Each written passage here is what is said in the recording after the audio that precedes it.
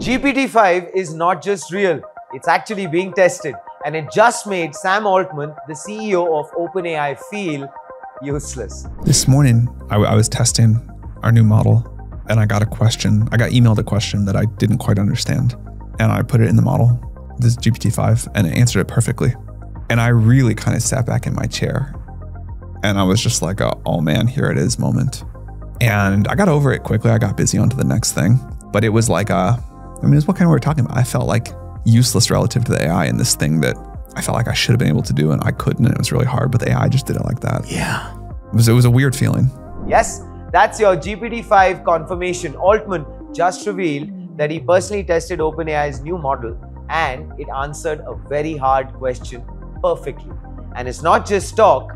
Recent leaks show GPT-5 appearing in OpenAI's internal config files and benchmark repos. It's being tested under the radar and refined for launch. So actually what's new in GPT-5? According to insiders, better reasoning, fewer hallucinations, multi-model architecture with a routing layer. Think research, coding, general purpose, all under one roof. And here's actually the mic drop.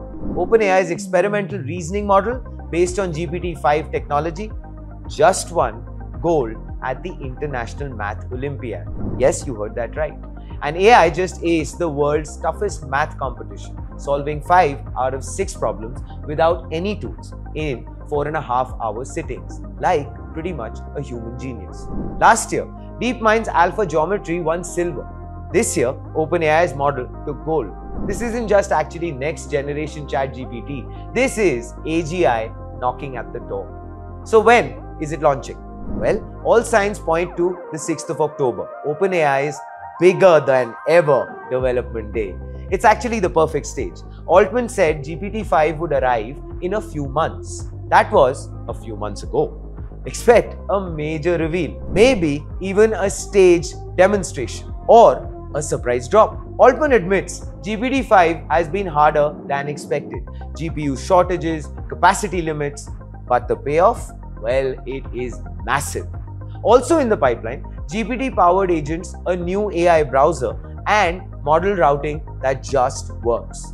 No more, which model should I use? Just ask and it knows. GPT-5 is coming. The countdown has begun. Will it change the world? Or will it live up to the hype? Let me know what you think in the comments. This is Front Page by AIM TV. Like, share, subscribe, and always remember think AI, think AIM.